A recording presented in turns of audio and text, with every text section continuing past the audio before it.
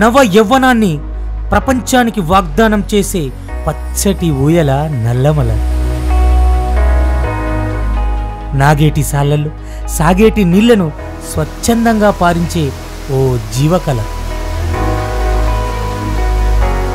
ప్రకృతి తత్వం ప్రతిఘటన నినాదాలకు ఇదో నిత్య ప్రేరణ. అడవి తత్వానికి ఆదిమ సత్యానికి సజీవ సాక్ష్యం నల్లమల.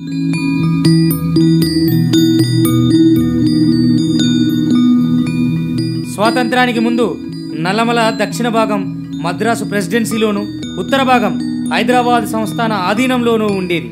ఉమ్మడి రాష్ట్రంలో మహబూబ్ నగర్ నల్లగొండ కర్నూల్ ప్రకాశం గుంటూరు జిల్లాలోని ఐదు లక్షల ఎనభై వేల హెక్టార్ల పరిధిలో నల్లమల అడవులు ఉన్నాయి.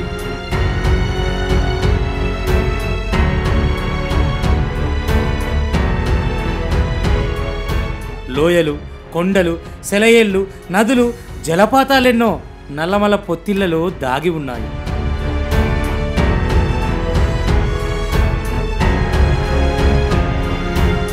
సముద్ర మట్టానికి తొమ్మిది వందల పదిహేడు మీటర్ల ఎత్తులో ఉన్న నల్లమలలో నూట తొంభై కిలోమీటర్ల పొడవున కృష్ణమ్మ పరవళ్ళు తొక్కుతున్నది ఎనభై శాతానికి పైగా కొండ ప్రాంతం ఉన్న నల్లమలలో సంవత్సరానికి వెయ్యి మిల్లీమీటర్ల వర్షపాతం నమోదవుతుంది.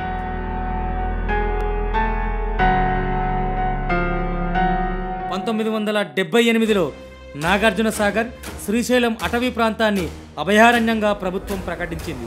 పంతొమ్మిది వందల ఎనభై మూడులో టైగర్ రిజర్వ్ ఫారెస్ట్గా గుర్తించింది. గుండ్ల బ్రహ్మేశ్వర అభయారణ్యంతో కలిపి మూడు వేల ఐదు వందల అరవై ఎనిమిది చదరపు కిలోమీటర్లలో ఈ టైగర్ ఫారెస్ట్ విస్తరించి ఉన్నది.